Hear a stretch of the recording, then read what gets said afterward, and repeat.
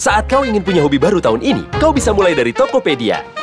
Lalu mencoba satu-satu, sampai hobi baru jadi bisnis baru. Apa pun keinginanmu, mulai aja dulu. Karena semua bisa dimulai dari